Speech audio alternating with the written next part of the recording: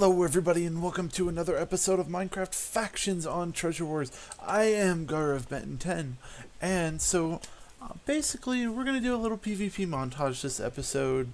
Nothing too. I'm gonna chill with Hazza and Joel, and let's get this started. And a go.